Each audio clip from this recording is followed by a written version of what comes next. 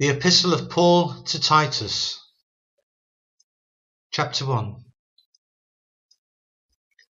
Paul, a servant of God and an apostle of Jesus Christ, according to the faith of God's elect and the acknowledging of the truth which is after godliness, in hope of eternal life, which God, that cannot lie, promised before the world began, but hath in due times manifested his word through preaching which is committed unto me according to the commandment of God our Saviour.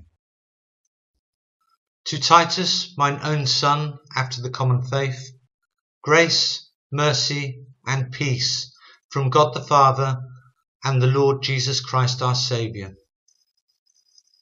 For this cause I left thee in Crete, that thou shouldest set in order the things that are wanting, and ordain elders in every city, as I had appointed thee. If any be blameless, the husband of one wife, having faithful children, not accused of riot or unruly. For a bishop must be blameless, as the steward of God, not self-willed, not soon to angry, not given to wine, no striker, not given to filthy lucre, but a lover of hospitality, a lover of good men, sober, just, holy, temperate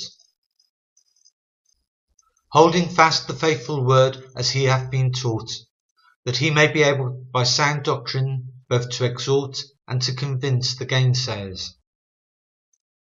For there are many unruly and vain talkers and deceivers, especially they of the circumcision, whose mouths must be stopped, who subvert whole houses, teaching things which they ought not, for filthy lucre's sake.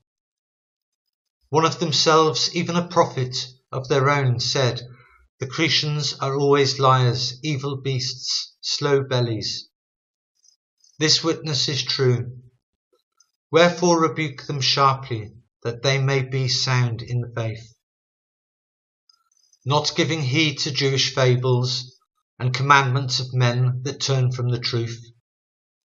Unto the pure all things are pure, but unto them that are defiled and unbelieving is nothing pure, but even their mind and conscience is defiled.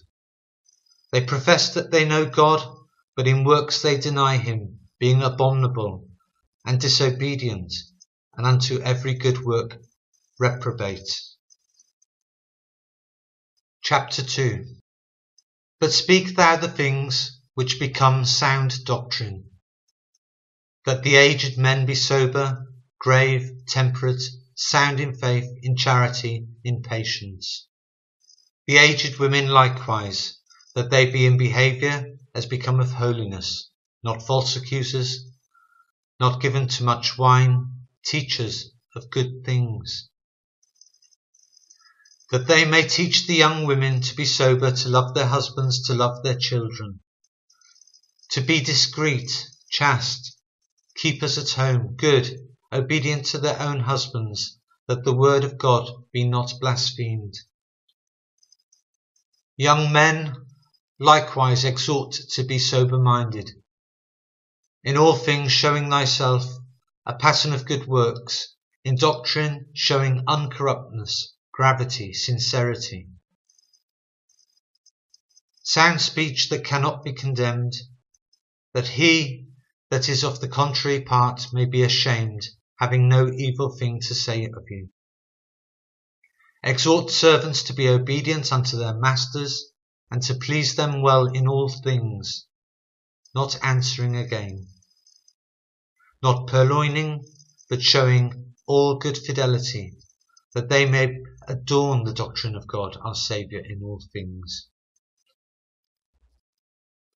For the grace of God that bringeth salvation hath appeared to all men teaching us that, denying ungodliness and worldly lusts, we should live soberly, righteously, and godly in this present world.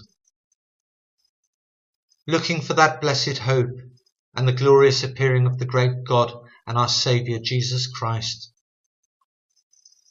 who gave himself to us that he might redeem us from all iniquity and purify unto himself a peculiar people zealous of good works. These things speak and exhort and rebuke with all authority. Let no man despise thee. Chapter 3 Put them in mind to be subject to principalities and powers, to obey magistrates, to be ready to every good work, to speak evil of no man, to be no brawlers, but gentle, showing all meekness unto all men. For we ourselves also were sometimes foolish, disobedient, deceived, serving diverse lusts and pleasures, living in malice and envy, hateful, and hating one another. But after that the kindness and love of God our Saviour towards man appeared, not by works of righteousness which we have done, but according to his mercy he saved us, by the washing of regeneration and renewing of the Holy Ghost, which he shed on us abundantly through Jesus Christ our Saviour, that being justified by his grace, we should be made heirs according to the hope of eternal life.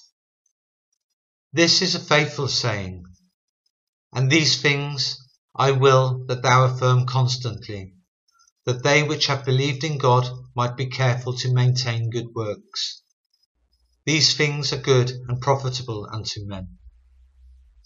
But avoid foolish questions and genealogies and contentions and strivings about the law for they are unprofitable and vain. A man that is an heretic after the first and second admonition reject, knowing that he that is such is subverted and sinneth, being condemned of himself. When I shall send Artemas unto thee, or Tychicus, be diligent to come unto me in Nicopolis for I have determined there to winter. Bring Zenas the lawyer and Apollos on their journey diligently, that nothing may be wanting unto them. And let ours also learn to maintain good works for necessary uses, that they be not unfruitful. All that are with me salute thee. Greet them that love us in the faith. Grace be with you all. Amen.